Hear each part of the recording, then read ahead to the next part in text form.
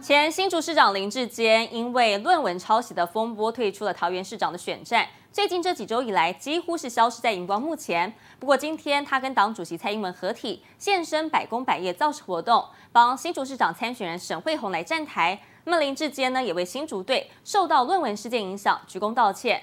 而对于国民党桃园市长参选人张善政的委托研究计划涉及了抄袭疑云，林志坚则说诚信比选市长还要重要，要张善政说清楚讲明白。谢谢。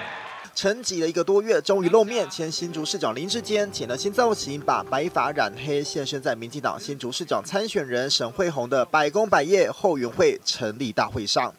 已经徛伫舞台顶。就习惯了，但是各外嘅无啥出门，各外嘅无上台，小夸未习惯。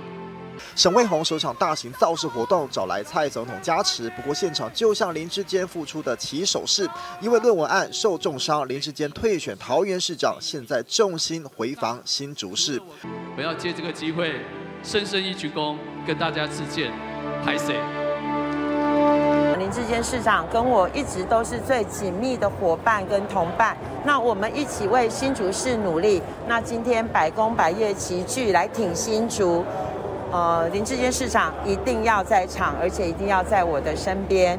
论文抄袭事件确实影响选情，沈惠宏陷入苦战。林志坚要先巩固绿营六万多票的基本盘，而曾经是对手的国民党桃园市长参选人张善政，农委会研究案引发争议，被认定有六篇重复度高，同样也深陷抄袭疑云。林志坚可是火力全开，诚信哦比选市长还要重要哦。啊，我觉得他应该要用同一套标准哦，应。该要紧速的，呃，把这整件事情的呃来龙去脉说清楚、说明白哈，这才是一个呃对市民负责的一个态度。